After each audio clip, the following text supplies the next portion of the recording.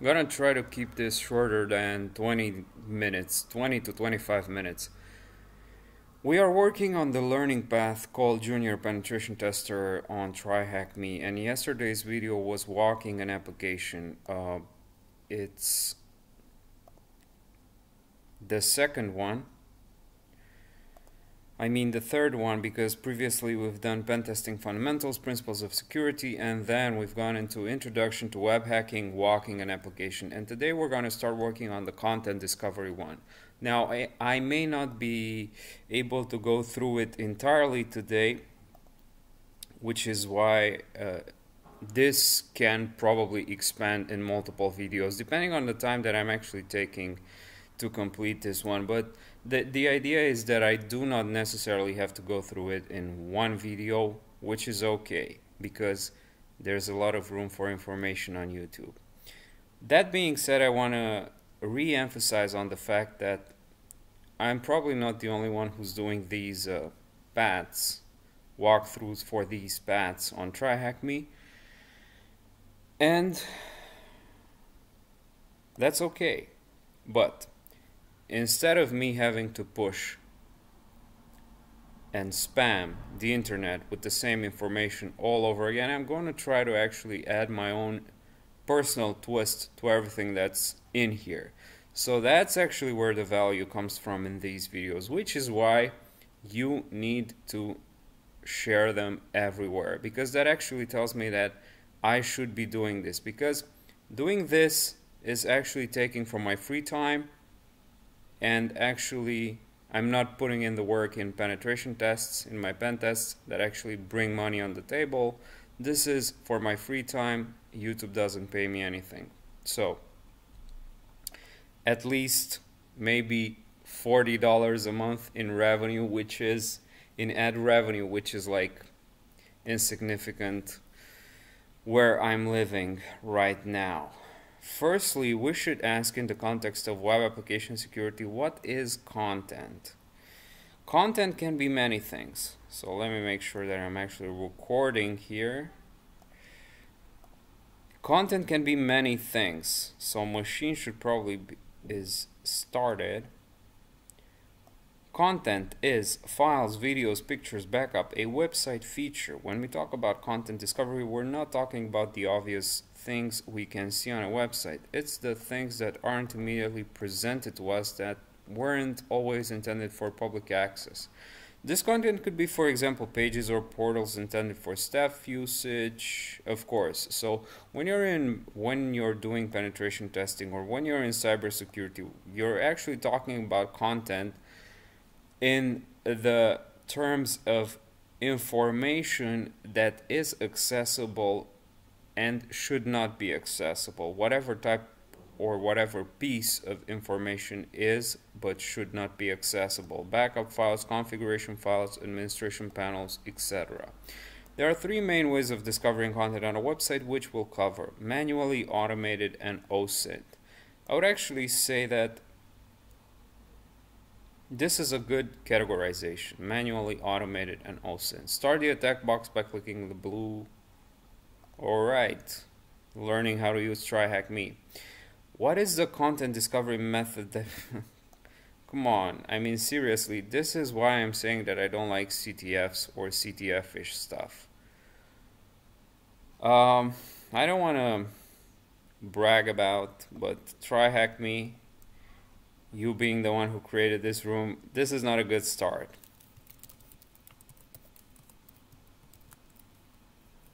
manually.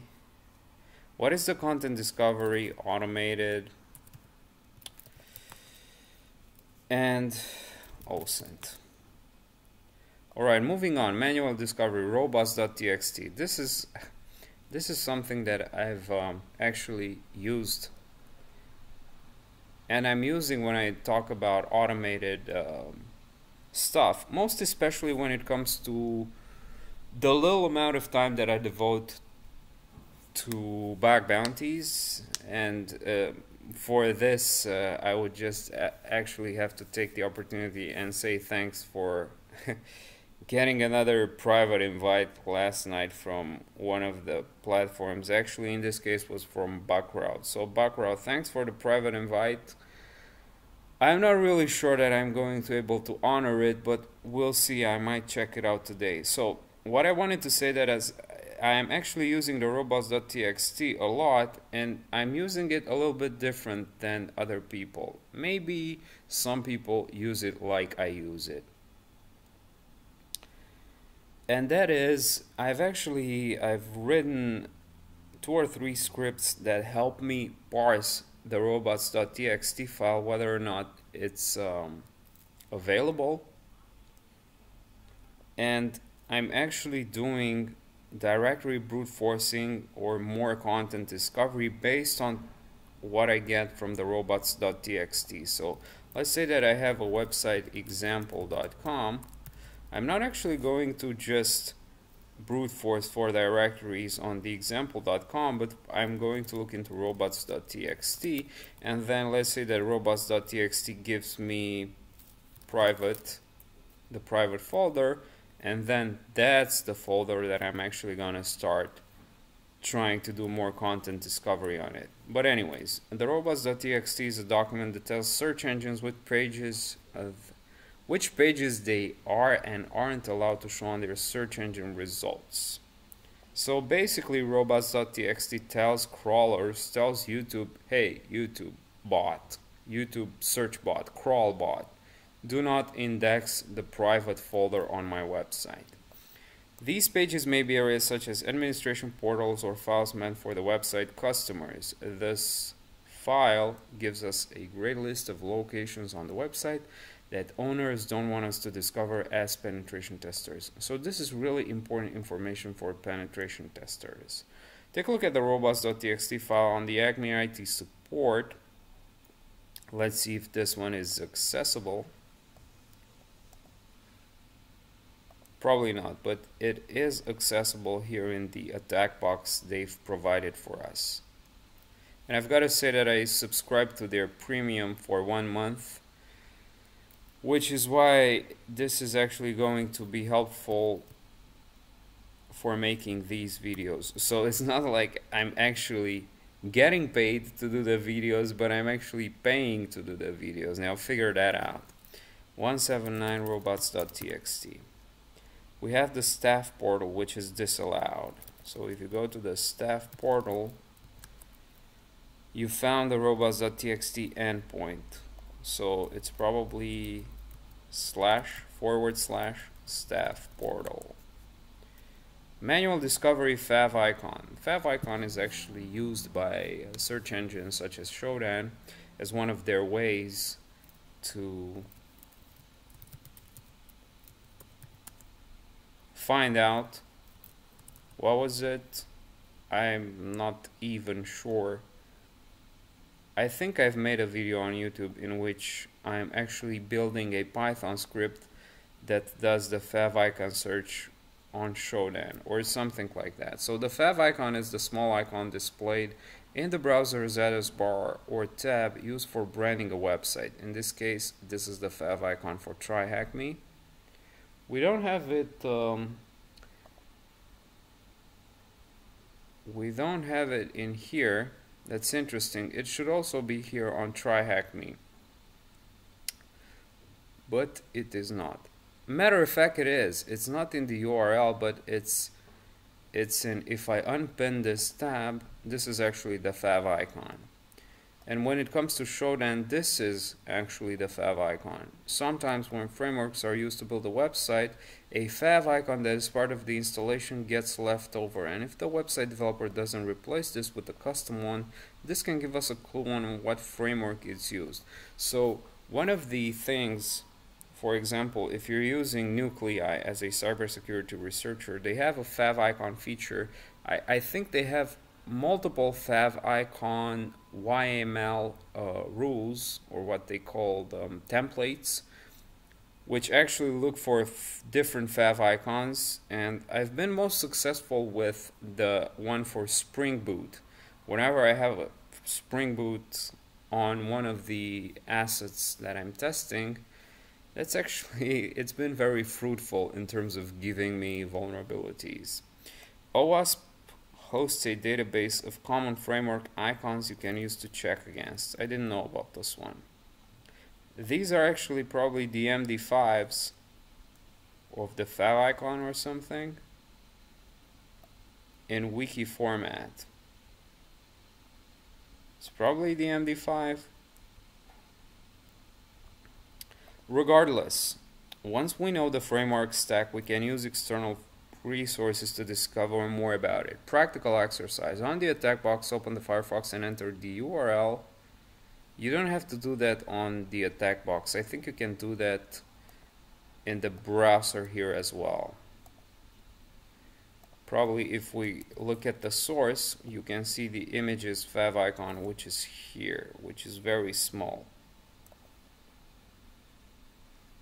If you run the following command on the attack box, it will download the fav icon. You don't have to do it on the attack box. You can simply, you can use curl, that's right, but you can simply right click on it here and save image as. I mean, this is like how to use the web one-on-one. -on -one.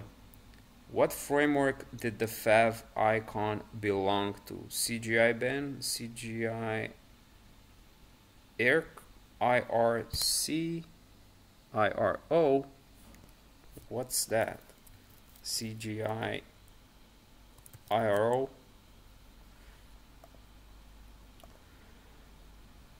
Let's see.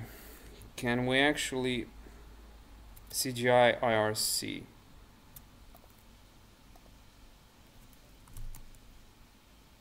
Okay. On the attack box, open a terminal and type the command above.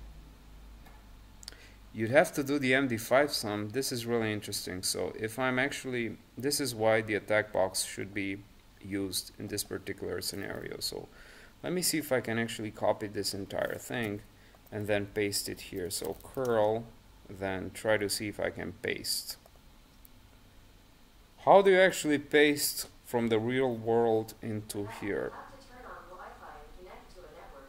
Mm. Alright, that was my Google Assistant.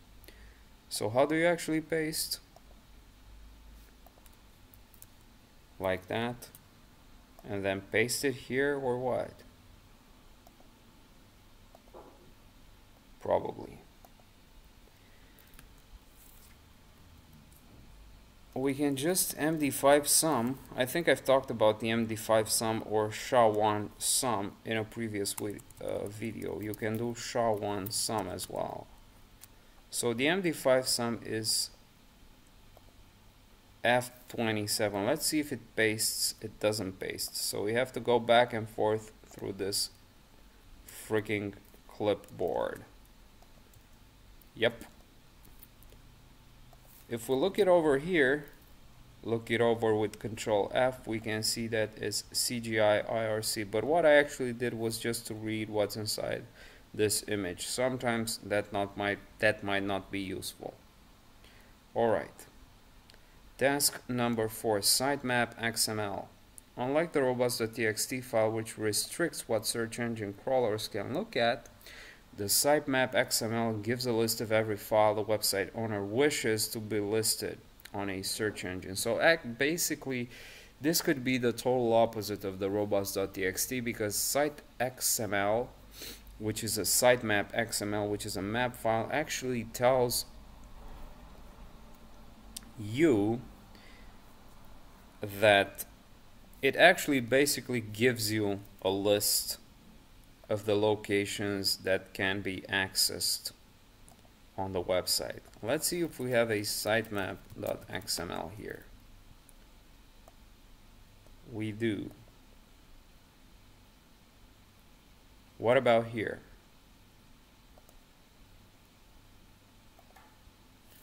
So it's https 10.10.57 or 179 slash sitemap XML.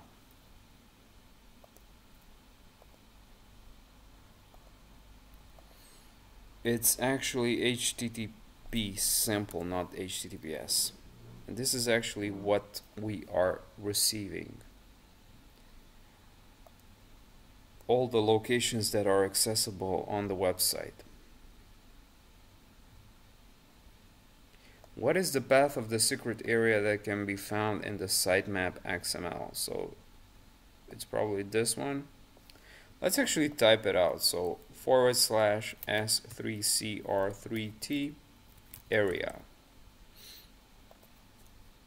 HTTP headers, really, really important. We've uh, briefly touched on them in the previous video when we looked at the developer tools, but I want to say that as someone who's in cybersecurity, as someone who's a practitioner, you really need to know about HTTP header, H, HTTP headers, HTTP request headers, response headers, how you can manipulate them in an unintended way, so to speak.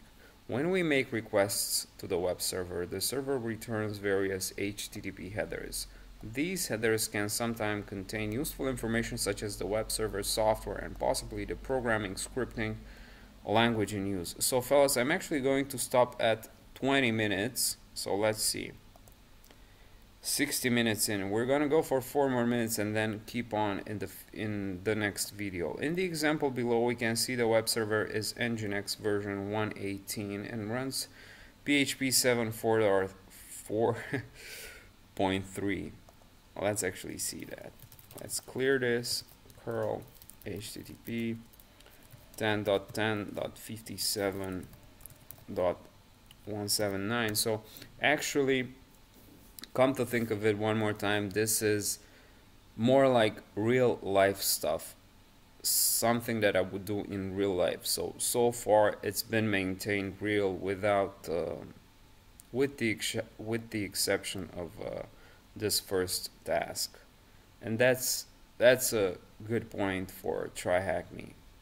For this, uh, this particular room and learning path.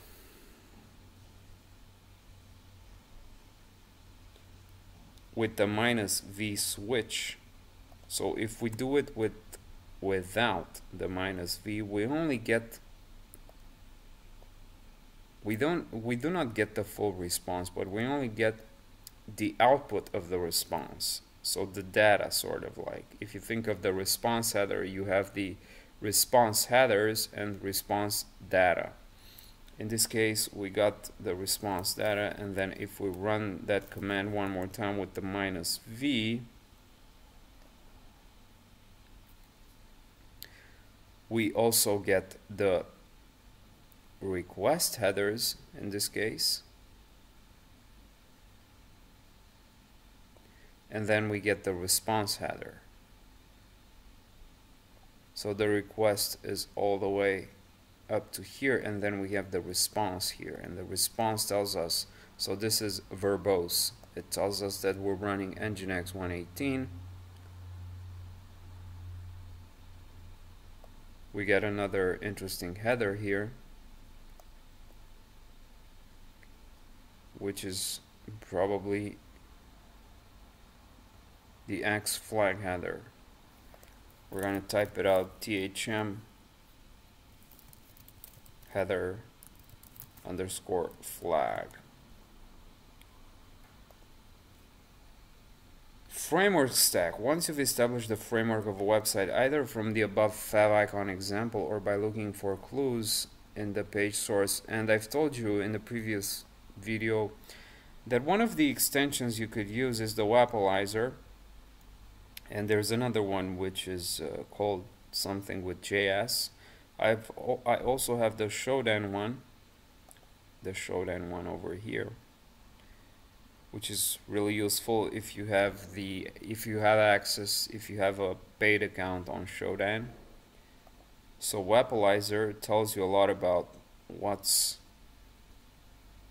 the technologies that are built on the tab that it's actually currently opened. For example here we have something different than we have here.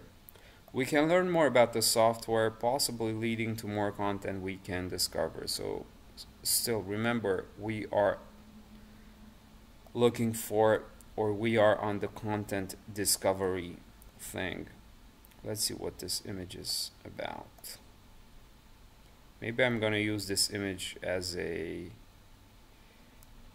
um, thumbnail for the video Looking at the page source of your Acme IT support website, you'll see a comment at the end of every page. And also a link to the framework's website, which is this one. Let's take a look at that website. Viewing the documentation page gives us the path of the framework's administration portal, which gives us a flag if, you if viewed on the Acme IT support website. I think we've gone through this in the previous video. So we need to look into the change log. We have a file called tmp.zip.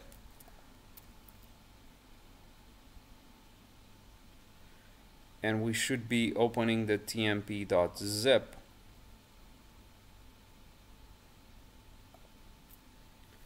in here. So 10.10 tmp.zip maybe just maybe.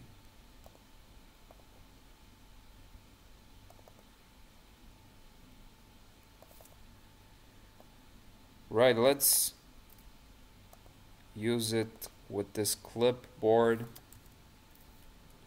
copy it from here and then paste it in here. The answer is not what is the flag from the framework's administration portal? We've taken a look in there. Viewing the documentation page, so the documentation, not the change log.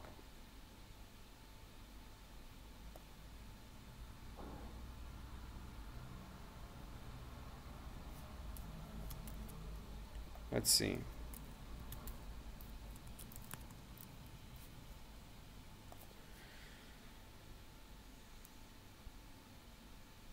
Alright, so this is actually installed in here.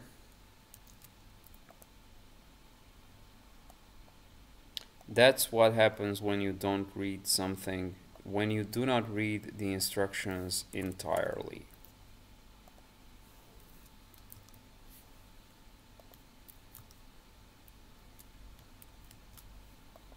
Then paste it over there.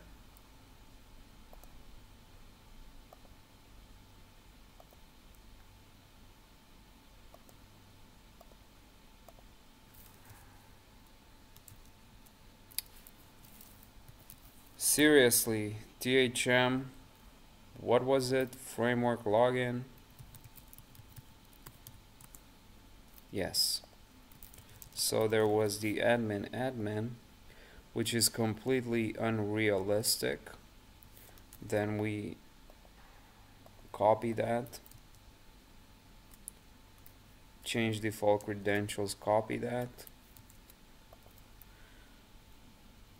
and that's done. So we should stop at task number 6 and then move on with the rest of the tasks, which are 6 more in the next videos.